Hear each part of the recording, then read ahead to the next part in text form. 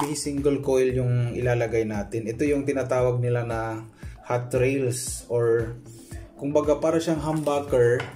Humbucker siya pero uh, single coil yung size niya.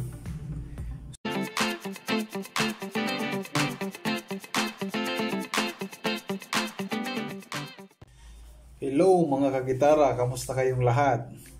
Uh, may bago na naman tayong video ngayon at sa video na ito ay um, papalitan natin yung stock pickups nitong um, divisor guitar.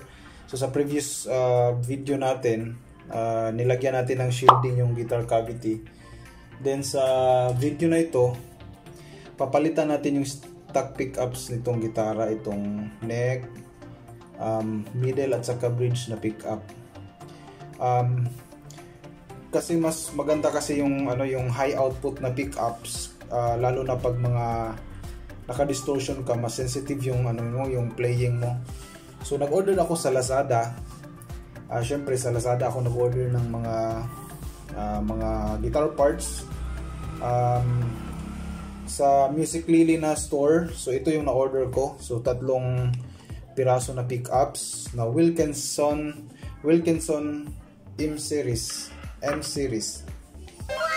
So ang kagandahan kasi sa ano guys, sa Music Lily, sinasabi ko na sa previous video ay um, free shipping siya kung anong price na um, in-order mo, yun yung price talaga na babayaran mo pagdating ng uh, order mo. So, around 400 pesos mahigit yung bawat isa nito. So, sulit na sulit guys. So, mamaya papakinggan natin pag nakabit na natin itong mga pickups na to kung um, yung, kung may kaibahan ba sa stock pickups nitong gitara. So, ayos guys. Simulan na natin.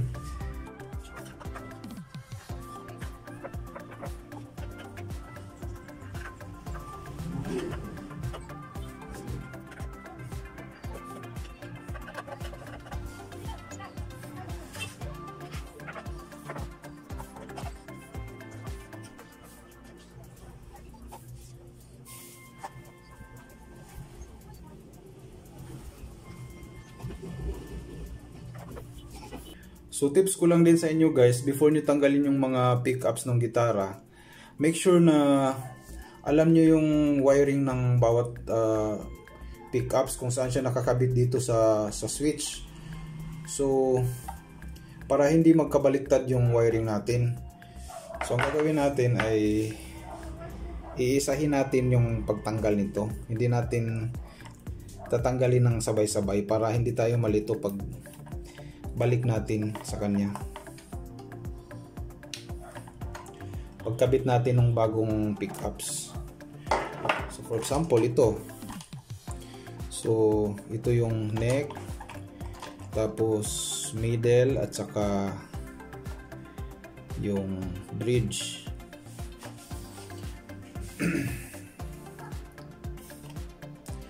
so tatandaan nyo lang guys na yung lahat ng block or lahat ng ground ay naka ano yan siya naka-connect yan siya dito sa ground. So isa. So sa case na to yung uh, yung white ay sa neck yung yellow ay middle at saka yung red sa bridge.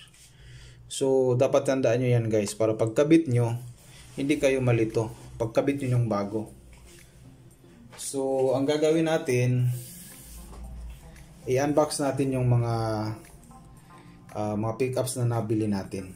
So, example ito.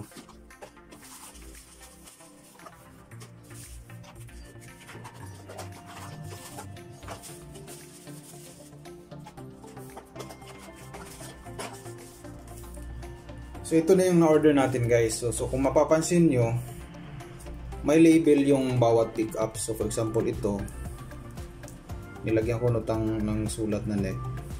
So neck tsaka middle.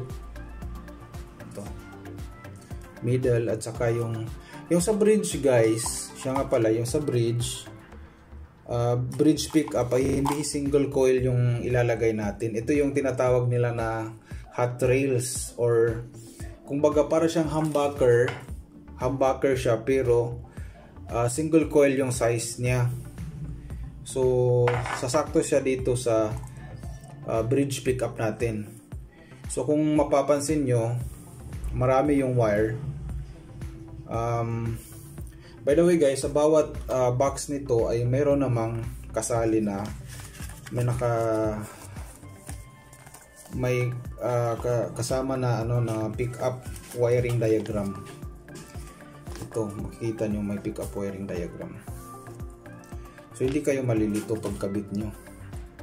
So, for example ito di ba may may tatlong wire siya.